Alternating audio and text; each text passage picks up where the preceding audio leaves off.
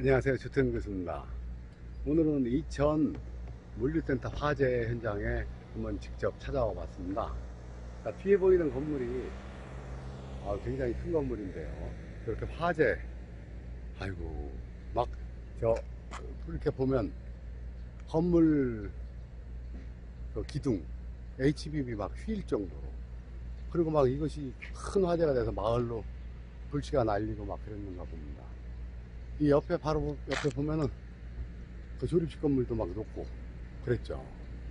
근데 이제 이 건물 옆에 이렇게 보면 저기 이 건물 너머에 보면 멀리 보이는데 큰 건물들이 이거보다 더 큰 건물들이 똑같은 물류센터인가 봅니다. 이 건물들이 있는데 그 사이에 이렇게 저기 경찰차들도 있고 근데 거기 분수령이 하나 있습니다. 즉 이 건물과 저쪽 건물과는 이 저쪽 건물은 분수령 넘어서 물이 저쪽으로 쏟아지는 거고 이쪽은 이제 물이 이쪽으로 쏟아지는 거예요. 그러니까 국이 다른 거죠. 같은 옆에 있어도. 자, 이 주변에 지금 현재 어, 각종 방송국 차량들이 아주 뭐, 뭐 지상파 3사가 다 와 있고 그 다음에 이제 또 이 도로는 경찰관 아저씨들이 나오셔서 통제를 하고 그 어, 교통소통을 원활하게 위해서 이렇게 수고를 하고 계십니다. 아주 지, 주변이 어수선하면서도 또 아주 이런 또 화재 현장은 아주 참혹하기도 하고 이로 인해서 그 살상자가 뭐 38명이 났다 아니면 더 났다 이제 그런 어떤 음, 얘기도 있습니다. 근데 이제 제가 이제 여기를 주- 찾아온 이유는 아, 저는 어떤 사고나 사건이 발생할 때 반드시 풍수적인 어떤 원인이 있어서 그것이 발생한다라고 보는 주의자이기 때문에 뭐 이해 못 하겠지만 여기서 이제 지금 방송국들에서 나와서 하는 취재하는 걸 이렇게 옆에 보니까 뭐 어, 해당 시공사가 책임 관리자가 없었고 뭐 시공자 어, 회사 대표뿐만이 아닌 15명을 갖다가 뭐 출국 금지를 시켜서 뭐 과실 여부를 조사한다 막 그랬는데 사실은 이것은 예, 사람이 그뭐 과실이 있을 수도 있지만 사실은 지기에서 이제 괴리에서 발생한 어떤 원인이라 이렇게 생각합니다. 자 저쪽에 저쪽에 이제 보면은 어 이제 저쪽에 보면 저 지붕 위에 이렇게 방송차들 옆에 있는데 보면 바위가 많이 있거든요. 제가 볼 때는 이거 이제 용맥을 막 건드리면서 파고 어 이러면서 괴리가 많이 오지 않았을까 이런 생각이 들고 자 지금 보면은 이 지역은 저쪽에 이제 여기서 보면 이제 서쪽인가 저기 노을이 졌는데 저 서쪽이 분수령이 있으니까 거기서부터는 물이 이쪽으로 흘러내리겠죠. 이쪽으로 흘러내려서 이쪽으로 흘러내려서 이쪽으로 흘러내려갑니다. 차가 차량이 올라오고 있는데 그러죠?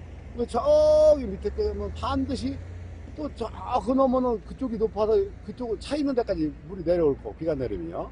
그러니까 지금 차량 있는 데는 가면 반드시 어떤 그 하천이 흐르든지 그 두 군데 물을 받아서 흐르는 그런 것이 있으리라고 생각됩니다. 근데 이제 문제를 보자면 제가 늘 파룬 부분 이렇게 떠들었던 그런 내용에 보면 파룬은 간운이기 때문에 동북방에 산이 있어야 된다 그랬거든요. 이 저기가 이제 저 교차로가 물 모이는 데가 사실은 여기서 보면 동북방이에요. 그러니까 이제 파룬에 여기가 있고 아직 이제 파룬과 구분이 교차되는 시점이기는 합니다. 그러니까 이제 파룬의 기운도 있고 구분의 기운도 있고 이제 그런 상황이거든요. 근데 이제 일단 여기서 보면 파룬의 기운은 완전히 왜 저쪽 동북방에 산이 있어야 된다 그러는데 거기 지금 하천이 있지 않습니까? 하천이 있고. 그렇죠?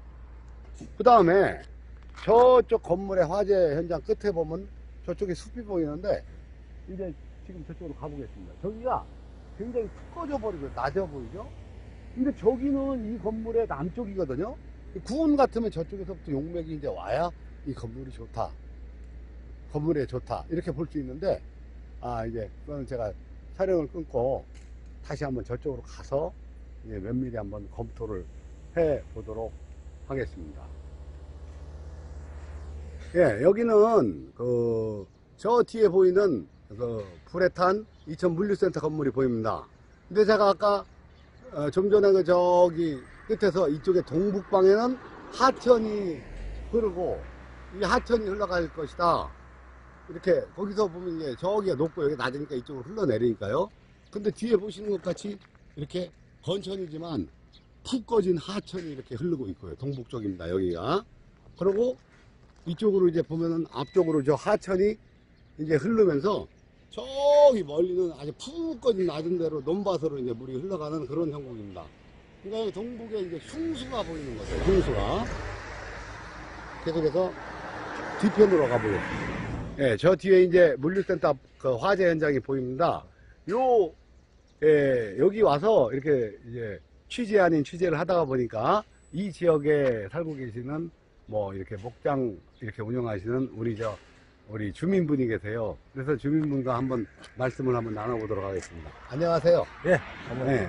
어떻게 이거 저 어, 화재 현장 때문에 굉장히 놀라셨겠습니다. 예, 요번에 화재가 나면서 이렇게 네. 막그 불던 거고 이게 이런데 여기 개까지 이렇게 아, 그냥 이런데 나. 막 날라와서 거의 음. 불 붙기 직전이었었는데 그나마 이뭐 사람이 어떻게 할 수 없는 거니까 그냥 아. 바라만 보고 있고 그랬는데 나 북동 여기까지 날라왔네. 나. 어, 여 검은게 이렇게 개가 네. 이렇게 그냥 다 올라와서 지붕도 막 뚫어지고 어, 타서 피해가 만만치 않구만요. 그런 아, 그러면 것도 소 있고. 피해는 없었나요? 그냥 소도 놀래서 막 들고 뛰고 그래서 연기도 먹고 그래서 아니 음. 뭐 그렇게 상황을 더 두고 봐야 되겠지만 뭐 위산 오늘도 한 마리 위산이 됐어요. 아, 소가, 예. 송아지가.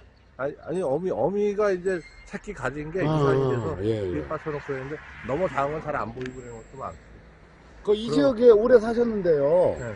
이 지역에 그 풍수나 뭐 이런 거 이렇게 들어본 적 있으시잖아요. 어때요? 그렇죠. 여기가 이제 마옥산이 이 100, 그 445고지인데 예, 저 뒤편에. 내려오면서 이게 뭐 여기 많이 형성을 해갖고 설성 설성에 뭐 노승산, 마옥산, 설봉산 이렇게 해갖고 있는데 여기 내려오는 줄기를 네. 몇 끊어 작년 같은 경우에도 우리 집에 여기 안반 네. 이 발파 작업 하면서 음. 뭐한 스물다섯 명 거의 30마리 정도 위산하고 아, 저 뒤에 마곡산을 발파하면서. 예, 예. 아니, 아니, 여기 물류창고 지면서, 네.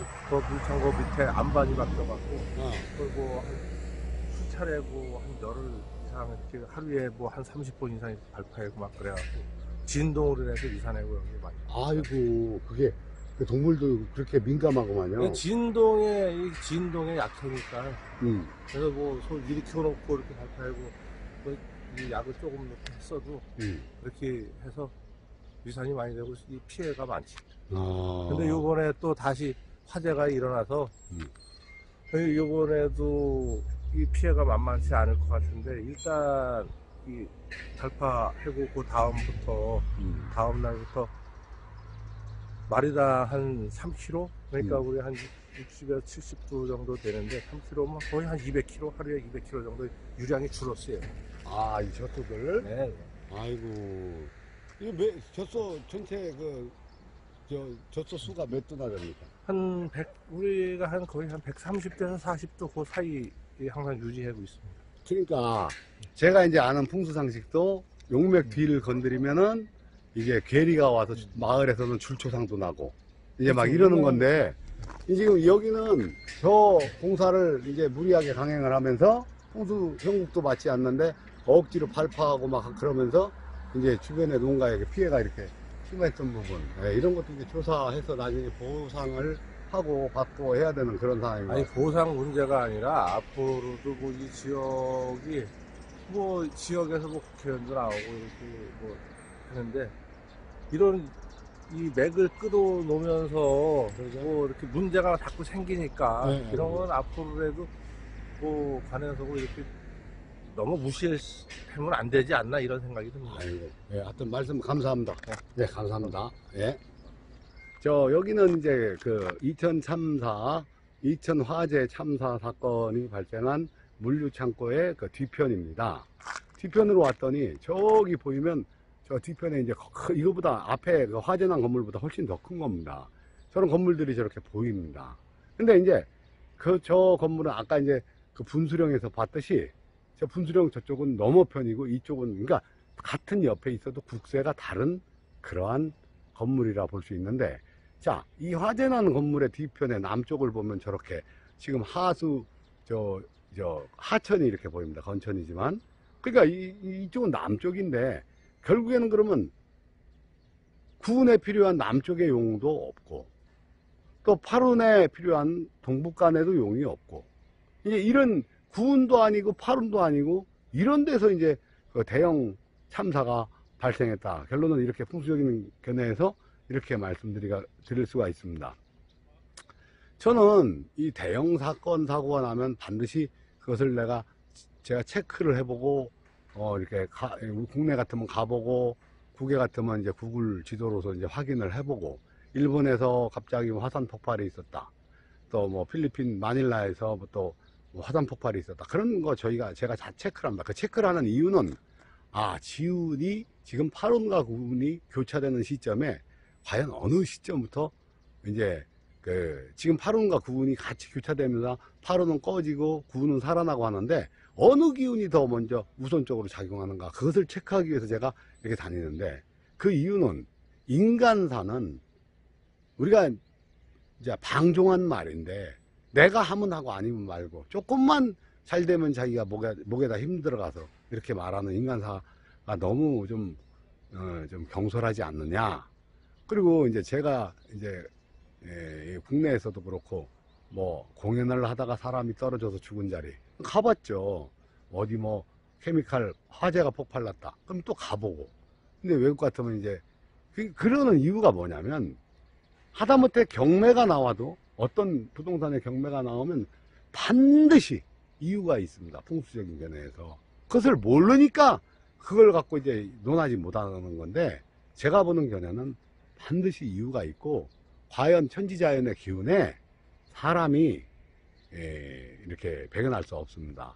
아까 그 주민분이 말씀하신 그 발파를 하고 막 그저 바위를 깨고 했대요. 저기 지금 뭉성이게 바위 깨진 게 잔뜩 있거든요. 그러니까 이렇게 용맥을 건드려서 집안을 건드리면 옛날만 같으면 동네에 주- 줄초상이 나고 막 그런다는데 지금 여기는 뭐 소도 많이 피해를 보고 그랬다네요. 그러니까 이런 부분처럼 지금 우리나라의 큰 문제는 사실은 무엇이든 갖다가 밀고 그냥 자대고 그서 포크레인으로 밀어서 파면 된다. 이런 그 어, 주의거든요. 그런데 제가 아, 얼마 전에 그 춘천에를 다녀왔습니다. 춘천에 갔더니 지금 강원도청짜리라고 춘천 입구에 그냥 용맥을 막 밀어대 갖고 그냥 그 털을 다져 놓는 걸 봤습니다. 이야, 이건 놀랄 일이야. 그 호- 진짜 속된 말로 홀라당망할 터거든요. 강원도가 걸려가면 아주 아주 거덜나겠죠, 이제. 소위 우리가 그렇게 계획 세워서 그냥 밀어붙여서 된다라고 생각하는 것 자체가 큰 오류고 우리나라 지금 이제 현재 그 문화마을이라고 그러죠. 그거 시자재 돈 들고 갔다가 문화마을 이렇게 해서 이렇게 개발하면 될 겁니다라고 했던 문화마을 어 백몇십 개 뭐 수백 개가 될지도 모르, 모르겠지만 그런 사업치고 성공한 게 일도 있습니까? 인간이 그냥 의지대로 밀어붙여서 되는 건 없습니다. 풍수적인 그 견해의 전문가의 도움을 듣고 이런 것을 이제 올바르게 활용할 수 있을 때 과연 헛되지 않은 그런 또 괴리가 없는 그러한 어, 올바른 저기를 저 공사를 하- 하고 우리가 이익을 볼 수 있지 않을까 이렇게 생각합니다. 감사합니다.